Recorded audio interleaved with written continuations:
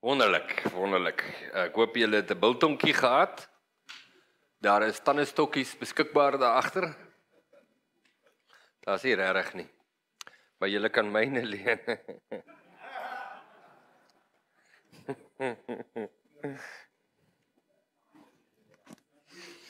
ja, dis die lekker ding van familie. Jy kan met so min klaarkom. Uh, iemand vra my nou hier in die koffiebreek 'n uh, baie baie baie belangrike vraag en die vraag gaan min of meer so: Is daar darm hoop dat 'n mens die dinge kan oorwin? En uh, die antwoord op dit is dit is die heerlikheid van die evangelie. Dis nie filosofies nie, dis werklik. En soos wat ek in die bietjie wat die Here Jesus aan my uitwys in my lewe, soos wat ek buig, kan ek werklik die krag en waarheid van uh, God in my lewe beleef en beleef hoe ek groei, maar ek is gewoonlik die een wat dit die laaste beleef. Ek is gewoonlik die een wat laaste beleef dat ek groei. Die eerste mense wat beleef dat ek groei is die wat om my is. Uh en hulle sien dit eers raak, nog voor ek dit raak sien. Ehm um, hulle sal sê uh, pippa ek het vir julle gesê ek wil nie vir julle my getuienis gee nie want dit is inkriminerend. Maar okay, hierso sal ek een enetjie toestaan. Kyk, dis altyd lekker as jy so getuienis gee om te sê ja, jy weet jare gelede, maar die probleem is dit was nie jare terug nie, dit was verlede week. En dit klink net altyd so beter as dit jare terug was. Halleluja. Uh maar dit is nie. Dis die pyn daarvan. Nietemin, daar was 'n situasie waar ek uh, my vrou ry, ons was ek kan nie onthou waar nie, maar hier in die dieptes En uh, ons is op pad huis toe en uh, ek reageer, ek sê iets. Uh en en dit was nie besonder uh wys of geestelik of so nie. En uh en en Pippa lig dit uit. Sy lig dit uit en sê maar dit val haar nogals op dat ek in hierdie en hierdie situasie so reageer. En uh, ek sê terwyl ek ry sê ek vir ja, jy's heeltemal reg. Ja, jy's reg. Ja, ek is definitief verkeerd. En ons ry aan. Twee dae later by die huis. Dis nou verlede week. Of was dit eergister?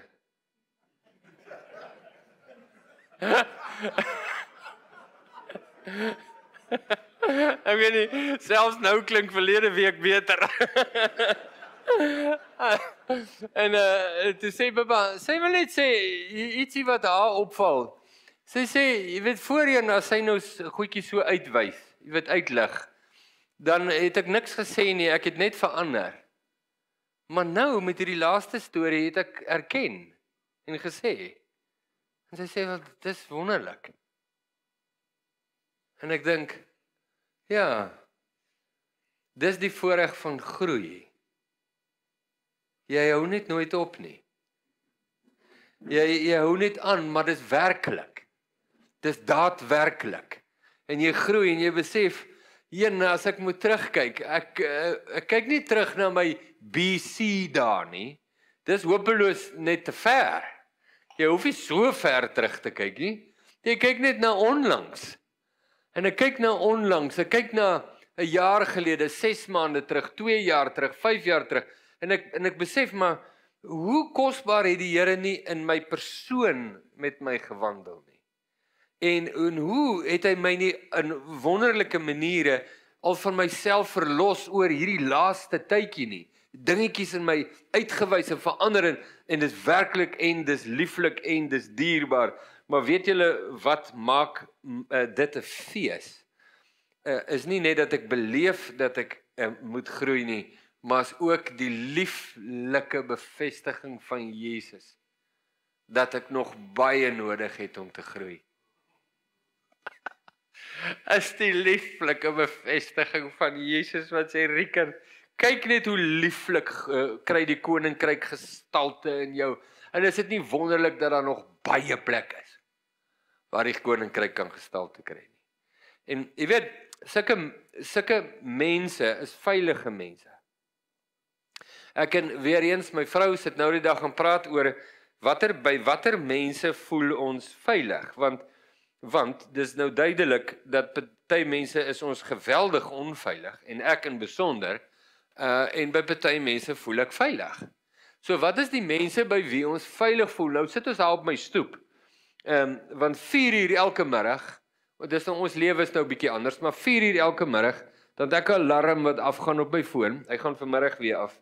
En dan gaan sit ek en my vrou op die stoep. As julle eendag so oud is soos ek, kan julle dit ook doen. en ons sit die stoep en ons kuier met mekaar. Ons sit maak tydjie en ons kuier. Partykeer sit 10 minute, 15, partykeer is dit langer, maar jy sit nie maak tyd daarvoor. Dis lieflik. En ons sit daar op die stoep en, en ons praat oor by wie is die mense by wie ons veilig is. Nou sit ons altoe en dink nou by wie is ons veilig? Watter tipe mense is ons nou veilig by? Nou gaan ons koppe so. En pappa sê okay, sy sy wil eers te gaan. Sy wil eers te sê.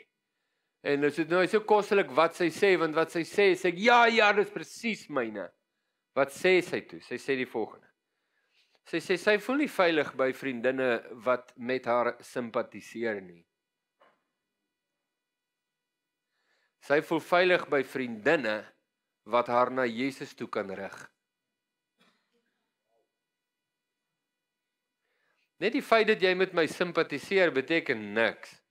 Jy kan my van die wal in die sloot help met jou simpatie. Maar om my na Jesus toe te rig, om na my te luister met empatie en dan met my te gesels oor Jesus. Wow. Ek kom na jou toe oor hoe onregverdig is ek behandel by die werk en En kom en sê ek is onregverdig behandel, ek's baie onregverdig behandel by die werk en ek kom na jou toe en jy luister na my met empatie en jy en dan begin jy vir my met jy begin my praat oor Jesus. Oor Jesus. Dit bring lig in my duisternis. Dit bring hoop in my wanhoop. Dit bring lewe in die dood. Jesus, die geliefde van God. By sulke mense is ek veilig. As jy met my heeltyd praat oor jouself, of jy probeer my heeltyd na jou toe beïnvloed en jou opinies en jou sienswyse, voel ek nie by jou veilig nie. Tendeel ek voel ek lus om te stry. Maar as jy met my kan praat oor Jesus, selfs al gaan druis dit lynrig in met wat ek dink, Jesus het die vermoë om in te skyn in duisternis en lewe te bring waar daar dood is. Dis wat hy doen. Jesus is die een, die finale uitspraak en die finale gesag. Nou gepraat van finale uitsprake, finale gesag. Kyk gou in julle Bybels in uh, Openbaring hoofstuk 1. Die finale uitspraak in my lewe, die van die finale gesag in my lewe. Net gou iets daaroor sê want dis ook 'n gesprek wat ons nou al 'n paar keer gehad het. Is ehm um, hoe min uh hoe dat ons dikwels dit nie verstaan nie. Ons verstaan nie die die stelling dat Jesus die finale gesag is in my lewe nie ons ons dit kan dalk weer een van daai wees waar ons stem saam maar ons doen dit nie. Ehm um, ons ons sê ja amen haleluja want dit klink geestelik en wonderlik maar dis nie 'n realiteit in ons lewens nie. Wat beteken dit om onder die gesag van Jesus te staan of wat beteken dit dat die gesag van Jesus is die finale gesag in my lewe? Wel dis dis beslissend vir alles. Ehm um, ek kan my ek kan my bevind in gewone klein gesprekkies en besef dat die dat Jesus die finale sê het in hierdie gesprekkie. Uh en ek het dit nou nou gebruik 'n voorbeeld. Ek kan ek kan beleef dat Jesus sê uh Richard moet nou nie op hierdie trant langer aangaan nie. Stop dit nou hier. Moet los dit nou. Weet bly nou stil. Los dit. Jesus sê dit. En en jy weet, hoe meer jy na Jesus luister, hoe sensitiewer raak jou hart vir Jesus se stem dat jy hom in sulke mundane ou goedjies kan jy hom eien. Jy vertel 'n ou grappie en jy voel net dat Jesus sê moet nooit weer daai grappie vertel nie. En jy luister en jy hoor. En Jesus is die finale gesag. Daar is 'n insident in jou familie en die disipel vra: "Waar's Jesus in hierdie saak?" Want dis altyd die eerste vraag van 'n disipel: "Waar's Jesus?" En wat sê Jesus oor hierdie saak? Die buurman sny my bome 'n meter en 'n half oor die muur binne in my erf.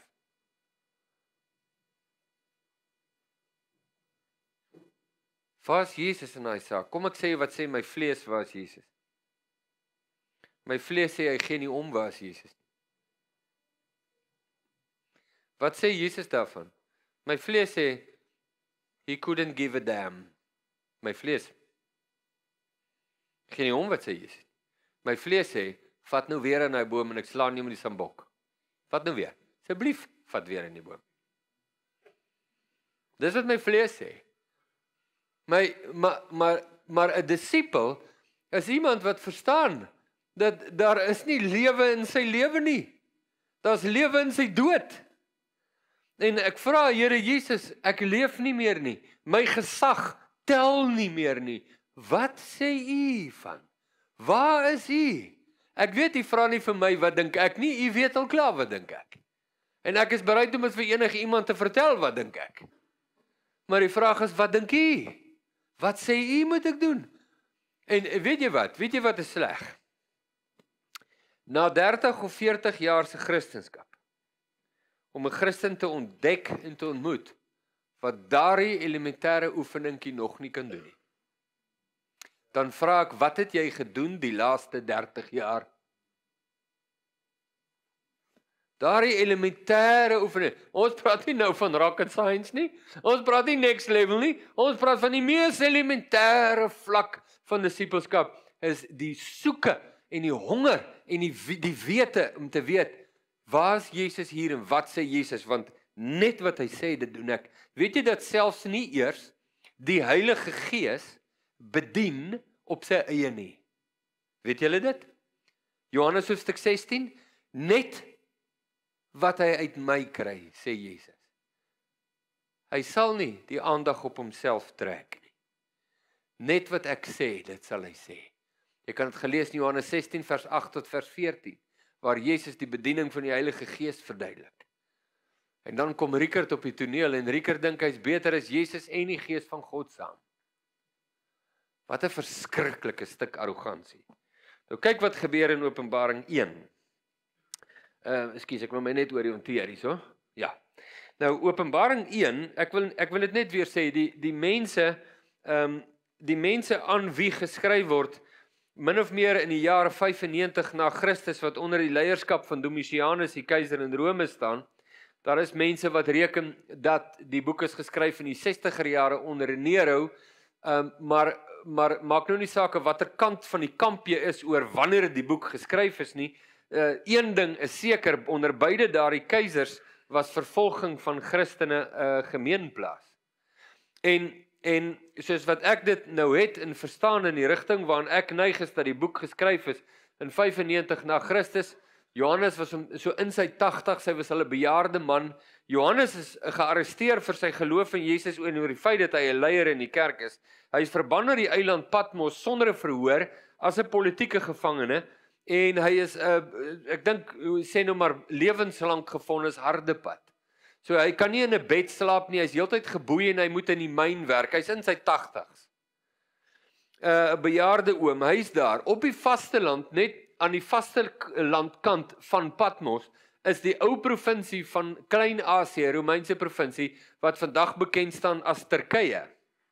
En in hierdie in hierdie gebied is daar sewe gemeentes gespasieer wat dan bekend staan of befaamdheid verwerf het oor jare as die sewe gemeentes van Openbaring. En hierdie sewe gemeentes is die gemeentes oor wie Johannes die vader of die apostel was oor hierdie gemeentes. Maar Johannes is van hulle verwyder, hy's op Patmos en die verdrukking wat hierdie mense beleef in Klein-Asië en die hedendaagse Turkye is geweldig. Hulle kry hulle kry vervolging van die Jode Hulle kry vervolging van die Romeinse owerhede, maar hulle kry ook vervolging van die gemeenskap.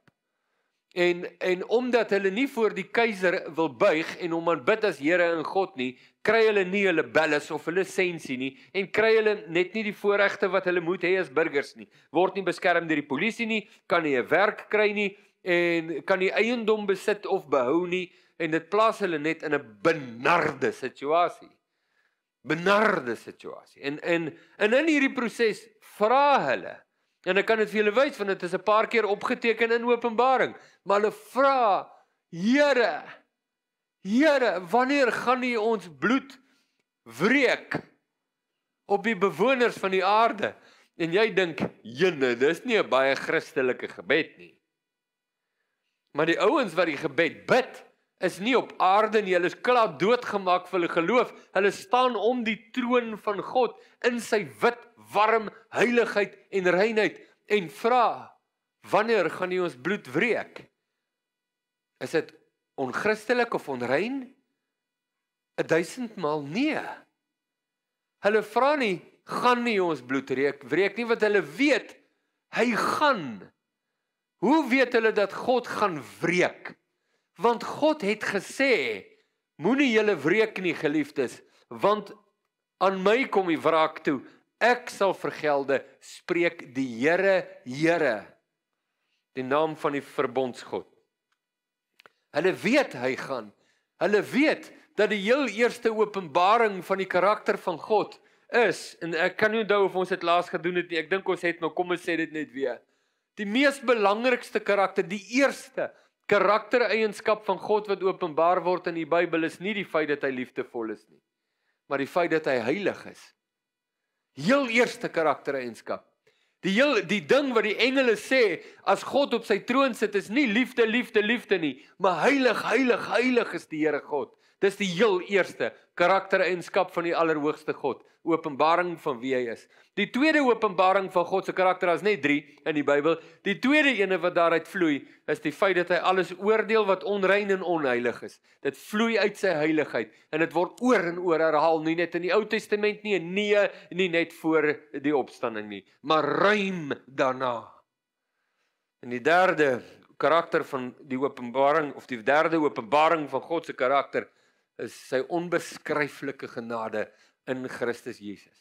Maar ons kan die genade verstaan as ons oordeel nie verstaan nie en ons kan die oordeel verstaan as ons heiligheid nie verstaan nie. En in Openbaring staan hierdie hierdie die beeld word gestel. Dit kom eers in hoofstuk 6 voor ons het nou nie daar gelees nie, ek wil nou lees hier. Maar hulle vra vir God, "Wanneer, Here, gaan U ons bloed wreek op die bewoners van die aarde?" En God sê nie vir hulle enige van die volgende. Hy sê nie hy sies nie. Hy sê nie uh jy weet dis hom nie mooi nie of jy weet uh hy sê niks vir hulle behalwe om te sê nie meer lank nie. God se antwoord op die vraag was nie meer lank nie. Nie meer lank nie totdat die volle maat van die wat nog gedood moet word inkom.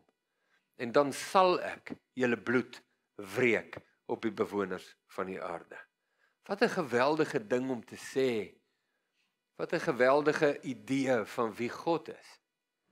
Hoe beur die mense nie weg van 'n God wat in heiligheid regeer en in in heiligheid regverdige oordeele uitgiet oor die aarde. Hoe beur ons weg van dit na 'n God wat alles toelaat en als aanvaar want dis ons idee van liefde.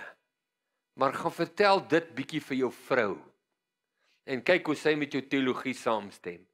Sê net liefie as jy vir my lief is, dan sal jy toelaat dat ek met enige ander meisie slaap.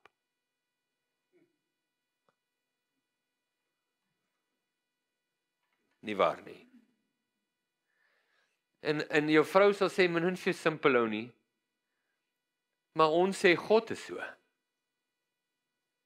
As hy vir my lief is, dan maak dit nie saak wat ek doen nie. Dis fyn. Hy's tog net so bly ek kyk in sy rigting. Jy misgis jou met wie God is. Nou wil ek vir jou sê wat sien Johannes. So Johannes is in sy 80s. Hy sit in hierdie grot. Hy word vervolg ten diepste, sy waardigheid word van hom gestroop en uiteindelik uh, probeer hulle om dit ook met sy lewe te doen op 'n baie swaar manier. En hy hoor 'n stem agter hom vers 10 hoofstuk 1 soos 'n trompet wat blaas wat sê nou die trompet wat blaas jy weet vir die Jode wat hierso sou lees as hulle hoor iemand praat met die stem van 'n trompet dan onthou hulle eh, Eksodus 19 hulle onthou die berg Sinai hulle onthou die trompet geskal het toe God gesê het kom hoor dat ek my heiligheid aan julle kan bekend maak. En hy presenteer die 10 gebooie of die wette Hulle onthou dit, hulle verstaan die die trompette wat skaal het te doen met die heiligheid van God, die oordeel van God, 'n oproep tot aanbidding, ook 'n oproep tot oorlog in die Ou Testament. So hier hoor Johannes 'n stem wat praat met die forsheid van 'n bassein. geweldig sterk. En eh, en die stem sê ek is die alfa en ek is die omega, ek is die eerste en die laaste. En skryf wat jy sien in 'n boek en stuur dit na die sewe gemeentes wat in Asië is, na Efese, Smyrna, Pergamus en Thyatira, Sardes, Philadelphia en Laodicea. Toe draai ek my om. Nou kyk, dit hierdie oefening doen Johannes baie in Openbaring. Hy hoor iemand sê, "Kyk die leeu." Hy draai om. Hoe? En sien 'n lam. Hy hoor iemand sê 144000. Hy draai om en sien 'n skare wat niemand kan tel nie.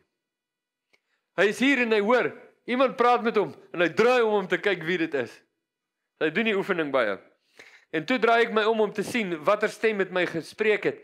En toe ek my omgedraai het, sien ek sewe nou moet julle verstaan nou wat jy nou gaan lees is simbolies, hoor, is is kosbare simboliek en vreeslik eenvoudig in evangelies. So moet nou nie moet nou nie uh, benoud raak nie sal dit nou gou gesê sien ek sewe goue kandelaars ek gaan dit net klaar lees en tussen die sewe goue kandelaars sien ek een soos die seun van 'n mens uh, met 'n lang kleed aan wat tot op sy voete hang en gegord om die bors met 'n goue gordel. So jy sien sewe lampstanders kersstanders sewe van hulle goud so nou verduidelik want elke ding daar het 'n betekenis en tussen hulle deur stap iemand soos die seun van die mens met 'n lang kleed aan tot op sy voete 'n goue gordel om sy bors en uh hy het sy hoof vers 14 sy hare is soos wit soos wit wol soos sneeu en sy oë soos 'n vuurvlam en sy voete soos blink kopers jy moet nou die prentjie probeer kry net dis eintlik vreemd vir al die oë wat soos vuurvlamme is dit jy weet soos 'n cutting torch sy sy voete soos blink koper wat gloei soos in 'n oond en sy stem soos die stem van baie waters en in sy regterhand het hy sewe sterre gehou en 'n skerp tweesnydende swaard het uit sy mond uitgegaan en sy aangesig was soos die son wat skyn in sy krag.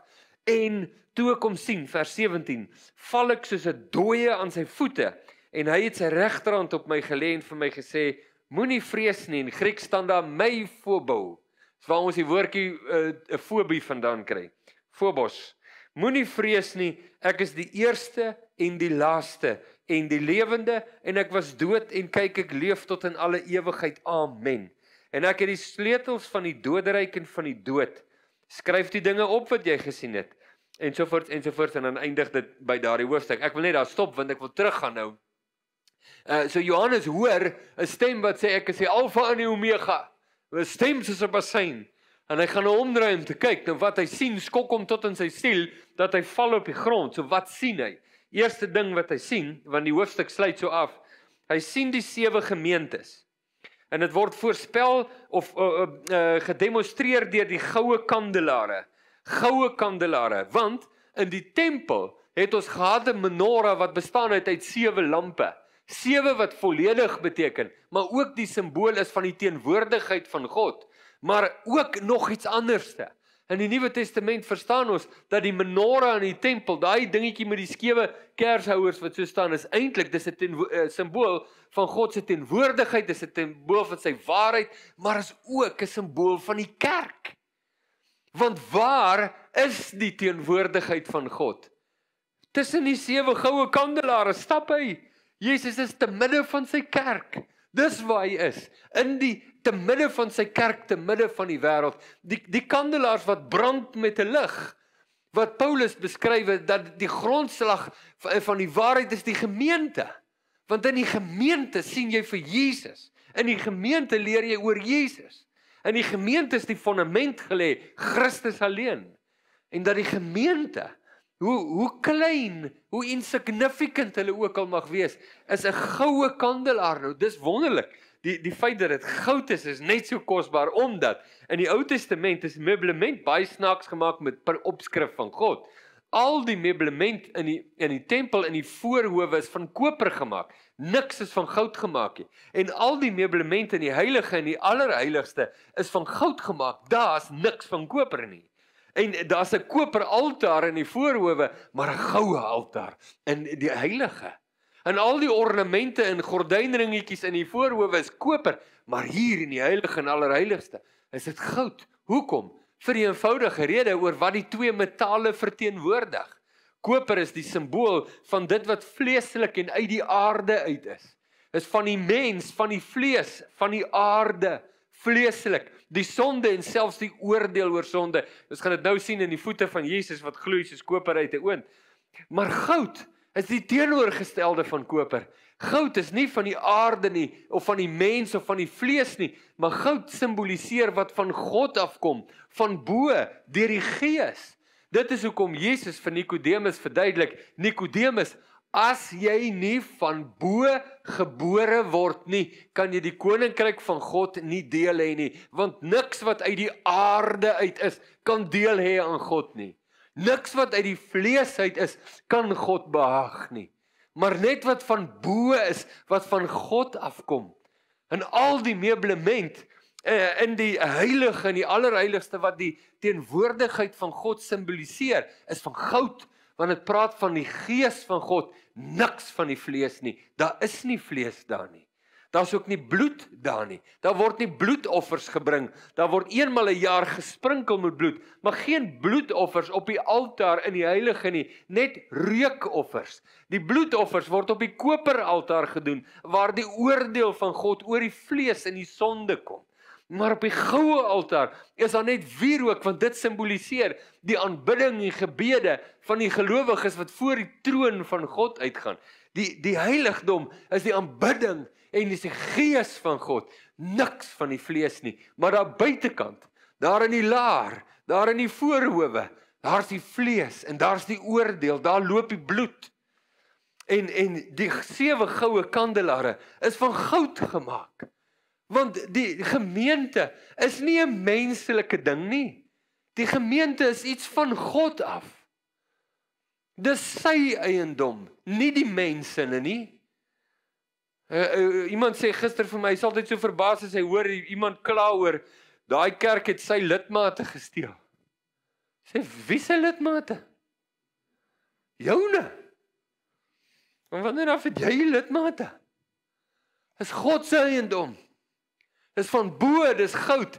En Jesus stap tussen hulle deur. Nou ons gaan dit akkiet sien as ons die briewe se doen. Ons gaan nou nie hierdie naweek die briewe doen nie, maar Openbaring 2 en 3 akkiet sien jy hoe stap Jesus tussen hierdie sewe goue kandelare en sy oë sien alles. En hy sê vir die gemeentes ek ken julle. Ek weet wat gaan in julle midde aan.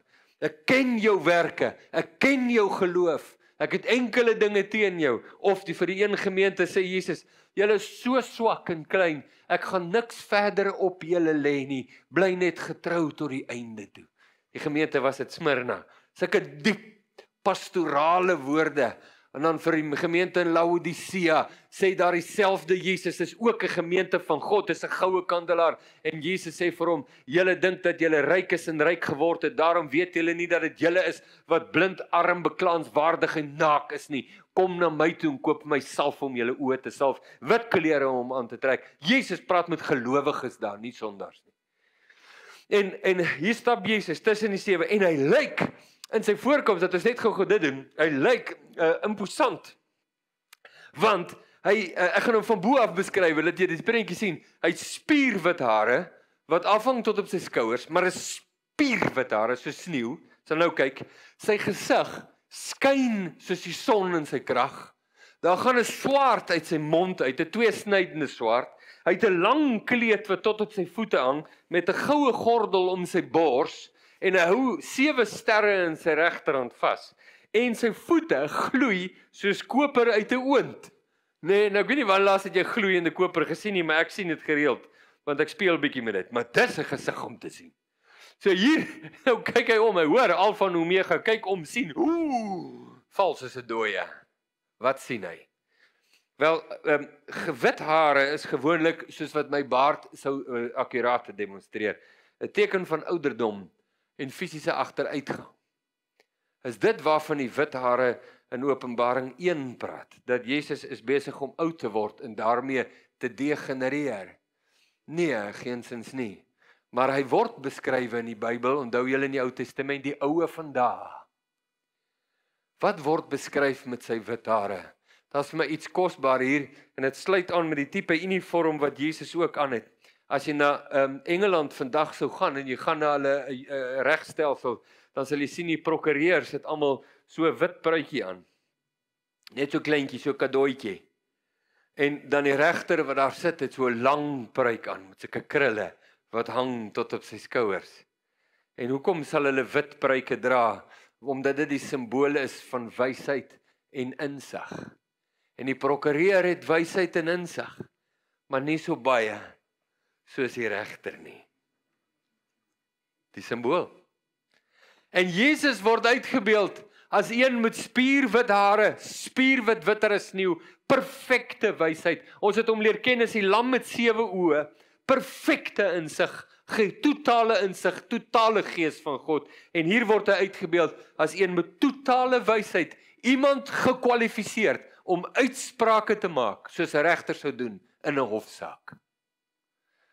Absoluut gekwalifiseer. Hy het die wysheid, hy het die insig, lang, spierwit soos sneeu. Sy gesig skyn soos die son 'n snaakse gesig is die definisie van wie 'n persoon is. Jy kan onthou jy daai laaste foto wat jou kind geneem het van die familie en toe almal se gesigte uitgesny het? Toe jy net lywe, dan beteken hy niks nie, jy druk die delete knoppie. Maar jou kind kon net bietjie hoor gemik het en net almal se gesigte afgeneem het, dan was dit 'n waardige foto. Want die gesig is die verteenwoordiging van wie jy is. En in Jesus se gesig skyn soos die son in sy krag. Sy majesteit en sy heerskappy en sy krag is oordonderend. Sy oë is soos vuur vlamme. Hoekom is sy oë soos vuur vlamme? Want weet jy wie hy is? Hy is die regter wat alles weet. Hy kan alles sien. Uit sy mond gaan 'n twee snydende swaard Hebreërs 4 vers 12 en 13 want die woord is kragtiger en skerper as 'n tweesnydende swaard, 'n dring in tussen murg en been, siel en gees en is 'n onderskeiding of 'n beoordelaar van die oorlegginge en gedagtes van die hart, want alles is oop en bloot voor die oë van hom met wie ons te doen het. Dis Jesus en hy stap in tussen die sewe gemeentes en hy sien alles. Hy weet van alles en die boodskap aan Johannes en die gemeentes is ek weet wat doen Domitianus. Ek weet wat doen die wêreld. Ek kan sien wat gebeur met julle, maar is nie al wat ek kan sien nie. Ek kan ook sien wat in julle harte en lewens aan die gang is. En hy het hierdie goue band en hierdie lang kleed wat wat net sowel ook die uniform van 'n priester of 'n koning kan wees, maar meer neig na die van 'n regter en ons kan Jesus beskryf hier as as die priester koning of die koninklike regter. Maar is baie duidelik dat Jesus die gesag van God is, die uitvoerende gesag. En dan kyk jy af en jy sien sy voete gloei soos koper uit 'n oond en jy besef wat dit beteken. Voete wat gloei soos koper, die simbool van God se regverdige oordeele oor die sonde en die vlees. En oral waar Jesus kom, bring hy die regverdige oordeele van God. En Dit was hoofstuk 1 en dan begin Jesus dadelik met hoofstuk 2 en 3 en jy kan sien hoe stap hy terwyl Johannes die briewe dikteer wat Jesus sê en terwyl Jesus stap bring hy die regverdige oordeele van God in die gemeentes waar hy wandel en sê vir hulle reguit pad langs stryd op presies wat die waarheid is. Maar van hoofstuk 4, 5, 6, 7 tot 22 is die boodskap ook aan die van die wêreld dat die regter van God, die uitvoerende gesag van God, die lammetjie wat almal op neerkyk omdat hy klein geslag is, is ook die leeu uit die stam van Juda. Hy's die regter van die nasies van die aarde en hy bring ook die regverdige oordeele van God oor die nasies van die aarde. En elke keer as Jesus 'n seël breek, dan skud die aarde. Hy skud mense in hulle kern. Hy skud hulle in hulle lewensonderhoud die arrogante klomp mense vir Psalm 2 wat sê die konings van die nasies van die aarde sê hoe kan ons sy kettinge van ons afwerp dan staan daar en God spot met hulle en hy lag en hy sê hy sal julle verpletter soos 'n erdepot kus die seun dat hy nie toornig word nie want gou kan sy toorn ontvlam. Wel geluksalig is almal wat by hom skuil. Die boodskap van openbaring aan die gelowiges. Wel geluksalig is almal wat voor die seun buig. Maar wie wie wie die wêreld wat hulle nekkies styf maak en hulle ruggies regop en die gesag van Jesus weerstaan. Weet jy wie is die seun. Weet jy dat hy die laaste sê het? Nie Domitianus nie, Nie die swaard nie. Nie gewere en geweld nie. Jesus het die laaste sê. En dis ons set in dit. En die gemeente sien dit en word getref. Johannes, die geliefde disipel, sien dit en val op die grond soos 'n dooie. Die enigste rede hoekom hy opstaan is omdat Jesus hom ophef. En en dis vir my so kosbaar en ek besef in ons midde in ons midde is daar 'n diepe versigtiging in die harte van gelowiges selfs as hulle dit al weet hulle dit nie. Dis daar want die gees van God sit dit daar. In die hart van die kerk is die versigtiging diepgaande. Here, openbaar U in heiligheid in ons midde. Van die oomblik wanneer dit gebeur, nie net verstaan ek die chaos in die wêreld en ek verstaan ek dat die wêreld en boosheid is nie in beheer nie, maar God is. Maar nie net dit nie. Die oomblik wanneer ek Jesus sien in heiligheid en in heerlikheid, dan gebeur daar iets in die kerk wat op geen ander manier moontlik is nie. En dit is 'n aanmaas stroping van frille en twak en nonsens wat die heiligheid van Jesus net wegbrand in ons midde. En in die kerk se enigste spontane reaksie is om te val voor die voete van hom wat op die troon sit. Wanneer die kerk kiers regop bly sit, weet jy een ding. Hulle het nie 'n idee wie is Jesus in hulle midde nie. Wanneer die kerk in sy arrogansie en in sy trots homself begin verhef, dan weet jy die siekte is omdat hulle lank al visie van Jesus verloor het. Hulle maak nog steeds aanspraak op geestelikheid en 'n klomp ander goed, maar hulle weet nie wie Jesus is nie. In die oomblik wanneer jy omdraai om te kyk wie is die Alfa en die Omega, as net een reaksie, reguit grond toe, plat op die gesig. Dit gebeur nie net met Johannes op Patmos nie. As Jesus die gordyn wegtrek in Johan in Openbaring 4 en jy sien die troonkamer, dan sien jy presies dieselfde gebeur daar met die verloste gelowiges, presies wat almal doen. En dis die belangrikheid. Daar is 'n Here en dis nie jy nie. Daar is 'n regter en dis nie jy nie. Daar is een wat wraak neem en dis nie jy nie. Jou pad is die pad van die lammetjie. Hy is die leeu. Gee die leeu kans in jou lewe om te wees wie hy is, die God van die heelal. Buig jou hart en buig jou knieë. Onderwerp jou al kos dit jou jou lewe, al kos dit jou jou eer, buig dit, offer dit, gee dit af, maak klaar. As jy nie weet hoe nie, sê Here Jesus, ek weet, ek hoor dit, ek weet my gees getuig is waar, maar ek het nie 'n klou hoe nie begin daar. Help my Here, dis waar jy moet bid. As jy gebed daar begin, kan ek jou een ding waarborg. Jy sal verseker belewe dat God jou gebede beantwoord. Verseker. Here Jesus. Ek weet eintlik nie wat om vir u te vra nou nie, behalwe om net te sê Here Jesus mag ons ore nie net hoor nie, maar mag ons harte ook inneem en verstaan. Openbaar Uself aan ons, Here Jesus. Maak ons oë oop. Maak ons oë oop, Here, om U te kan sien. U is die regter in my familie. U is die regter in my verhouding my vrou en die mense om my. U is die regter met oë wat kan sien wat ek doen waar niemand kan sien nie. Agter die toe voordeur alleen saam met die boekhouer of waar dit ook al is.